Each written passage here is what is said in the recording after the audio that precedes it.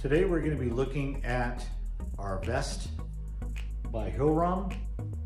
Uh, really great device um, for vibration, uh, vibratory percussion, chest physiotherapy. Uh, used uh, very commonly in patients with cystic fibrosis. Um, and again, it makes uh, the job of chest physiotherapy a lot more effective um, this can be done at home. Patients do this at home as well. Uh, so we'll, we'll take a look at the overview on how this uh, therapy looks, uh, and then we'll dive in and do some close-ups on the controls and on the setup. Now, just to note, the vest patients with cystic fibrosis will usually use the non-disposable vest. Um, it goes around the shoulders, the two connections are here, and uh, this is actually non-disposable. So you don't see this used too often in the hospital.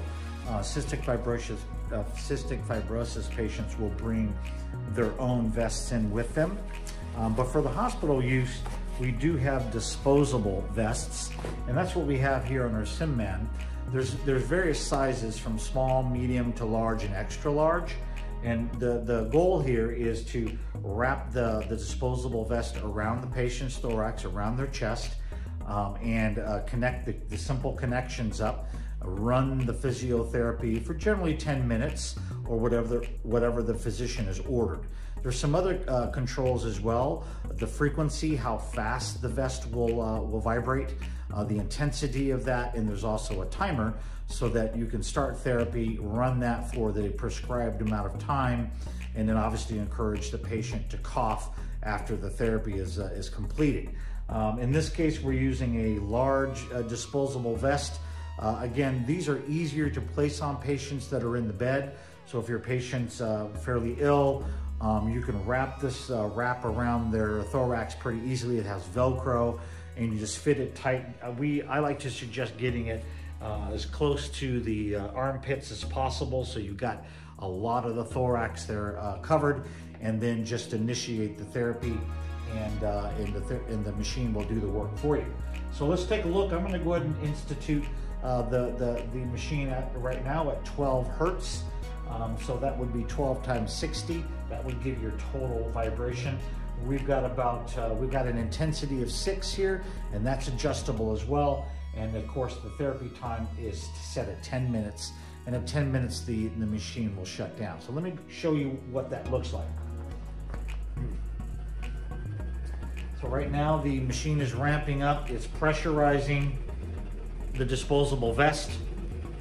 And once that's done, it'll continue to vibrate in this manner, providing the vibratory chest physiotherapy to the patient at the, uh, uh, uh, the prescribed uh, time line. Usually 10 minutes is, is about appropriate. So again, there uh, is the vest operating. And what we'll do next is we'll do a closer dive on how the connections are made and what the screen uh, looks like and how that can be adjusted. All right, everybody, so there is the vest running, like I mentioned, at 12 Hertz, a uh, intensity of six, and the time is about nine minutes remaining. You can also note that it says press off to pause the therapy so we can pause if the patient needs to talk to the doctor or whatever, and then resume the therapy. Now let's also take a look at the simple connections. These uh, these tubes, uh, there's uh, they're both same at both ends. They're just simple uh, tubes that slip into these connectors here. And on the vest side, there's a silicone uh, adapter that the, uh, the each each tube inserts into, and the silicone is tight so that it holds those connectors in place without any difficulty at all. Now again, this is a Velcro type of a vest. It slips on the chest quite easily and then you just Velcro uh, that together. I like to keep the ports close to the front of the patient so that you can get to those once the vest is placed and then again let the therapy run for the prescribed amount of time uh, that the physician has ordered. Um, so let's go ahead and look at the machine, the controls a little bit more. We'll go ahead and push stop to um, pause that. And as you can see, uh, we can resume the therapy if necessary.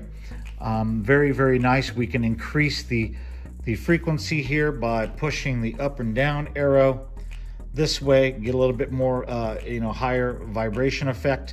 We can increase the intensity here. And again, the time can be changed as well. So pretty flexible. And again, you want to dial in what the physician's ordered.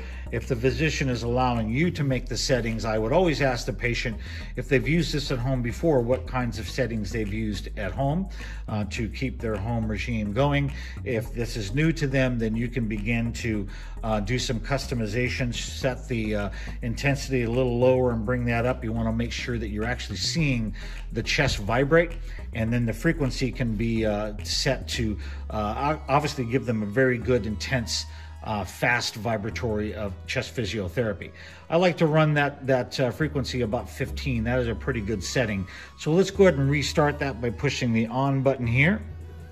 And again, it will ramp up, adding pressure to the vest and begin to vibrate.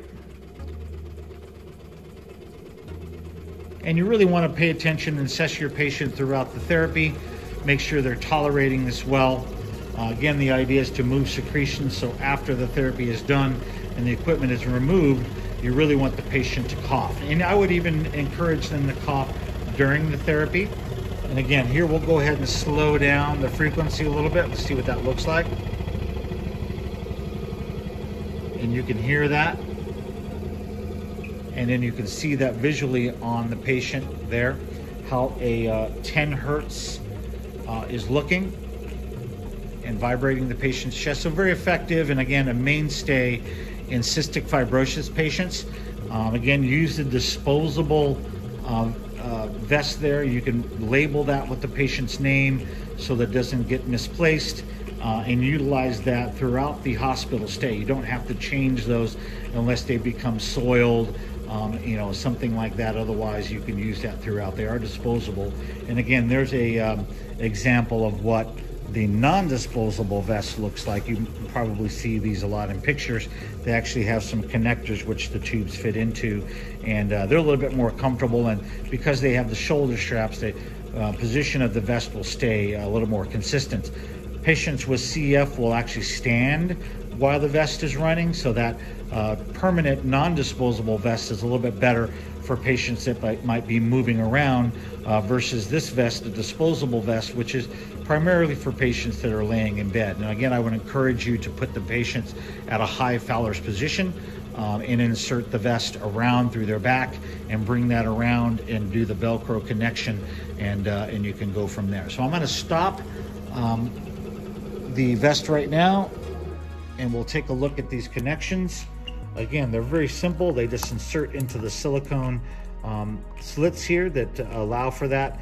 And it doesn't really matter which tube goes where, as long as you have both tubes connected uh, to the vest, the vest will function, and then you initiate therapy uh, that way. And it's a great way to give the therapy without tiring the respiratory therapist. In the old days, we did these um, by hand, either with uh, uh, percussion with our cupped hands and vibration with a either pneumatic air powered pneumatic vibrator or an electric power type of uh, vibrator for CPT.